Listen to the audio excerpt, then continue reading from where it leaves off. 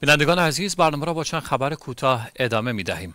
همایش بین المللی اسلام دین صلح و مهربانی است در شهرهای تاشکند و خیوه برگزار شد. بیش از هفتاد نفر از شخصیت های مذهبی و علمی از 22 کشور حضور داشتند. هدف اصلی همایش ترویج ارزش های اسلامی و مقابله با افراطگرایی و انتقال تجربه های ازبکستان به جامعه بین المللی بود.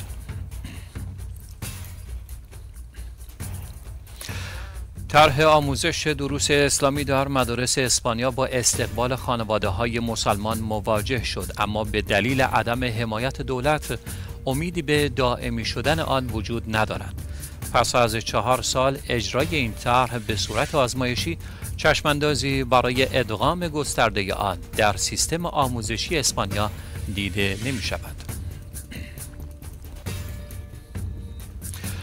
کمیساریای عالی پناهندگان سازمان ملل اعلام کرده که شمار آوارگان جهانی به دلیل جنگ، سرکوب، فقر و تغییرات اقلیمی به 123 میلیون نفر رسیده است. رئیس این نهاد هشدار داد که تدابیر سخت ایرانه مرجی کافی نیست و کشورها باید طرحهای عادلانه و قانونی برای حل بحران پناهندگی بیابند. دو جراح فرانسوی و اسپانیایی با کمک ربات ها و اینترنت از فرانسه بیمارانی را در پکن جراحی کردند. این جراحی های نادر همزمان با کنگره اورولوژی اروپا راه را برای جراحی های فراقاره‌ای باز کرد.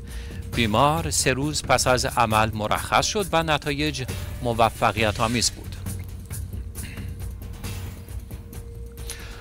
برنامه نابودی فلج اطفال در پاکستان از ثبت 33 مورد فلج اطفال در سال جاری با یک مورد جدید در کویت خبر داد. از ابتدای سال 2024 17 مورد در بلوچستان، 10 مورد در سند، 5 مورد در خیبر پختونخوا و یک مورد در پنجاب ثبت شده است. فعالان مدنی گزارش دادند که سعید القامدی کاریکاتوریست سعودی به 23 سال حبس محکوم شد. نیروهای امنیتی عربستان وی را به دلیل توییت ها و عقاید سیاسیش بازجویی کردند. برادرش محمد القامدی محقق منتقد دولت که در بریتانیا زندگی می کند این حکم را تلاشی برای فشار بر خود دانست.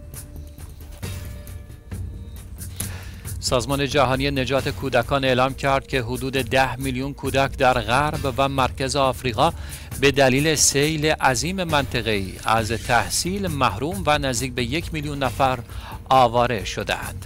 پیش از این چهارده هزار مدرسه به دلیل حملات بسته بودند و سیل وضعیت را وخیمتر کرده است. صندوق حمایت از کودکان سازمان ملل یونیسف اعلام کرد که شستن دستها با صابون از عوامل مهم پیشگیری از بیماری های عفونی و کاهش مرگ کودکان زیر پنج سال به ویژه از بیماری اسهال است. این اقدام کم هزینه بر بهداشت، تغذیه، آموزش، اقتصاد و عدالت تأثیر مثبت دارد.